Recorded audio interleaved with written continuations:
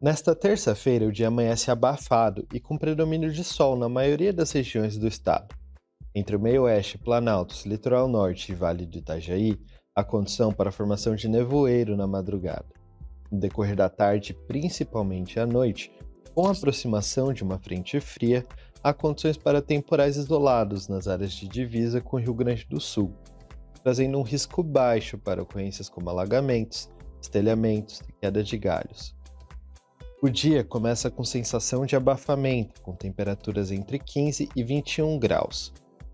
As temperaturas sobem bastante no período da tarde, ficando acima dos 30 graus em praticamente todo o estado.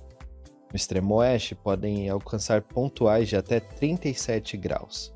Nas demais regiões, entre 27 e 34. Acompanhe as atualizações da previsão do tempo e os avisos e alertas emitidos no nosso site e mídias sociais. Para receber os nossos alertas por SMS, envie uma mensagem de texto sem custos para 4199 com o número do seu CEP.